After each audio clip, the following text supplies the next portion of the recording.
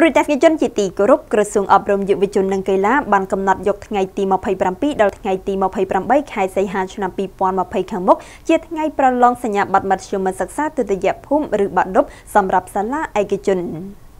ក្រសួងអប់រំយុវជននិងកីឡាបានប្រកាសពីការបរិច្ឆេទនៃការប្រឡងសញ្ញាបត្រមធ្យមសិក្សាទុតិយភូមិបាក់ឌុបសម្រាប់គ្រឹះស្ថានសិក្សាឯកជនឆ្នាំសិក្សា2019-2020នៅថ្ងៃទី27-28ខែសីហាឆ្នាំ2020ខាងមុខនេះនេះបើតាមសេចក្តីណែនាំបន្ថែមស្តីពីការរៀបចំនិងការប្រព្រឹត្តទៅនៃការប្រឡងសញ្ញាបត្រមធ្យមសិក្សាទុតិយភូមិនៅតាមគ្រឹះស្ថានសិក្សាឯកជនសម្រាប់ឆ្នាំសិក្សា2019-2020ដែលបណ្ដាញព័ត៌មាន Fresh News ទទួលបាននាថ្ងៃទី24ខែកក្កដាឆ្នាំ2020ក្រសួងអប់រំបានឲ្យដឹងថាកន្លងមកក្រសួងបានចេញសេចក្តីណែនាំលេខ33អយកសណណូចុះថ្ងៃទី14ខែកក្កដាឆ្នាំ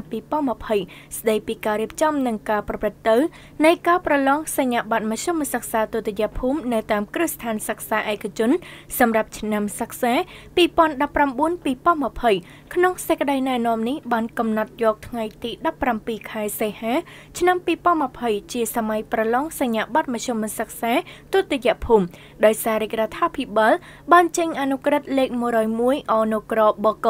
ចុះថ្ងៃទី15ខែកក្កដាឆ្នាំ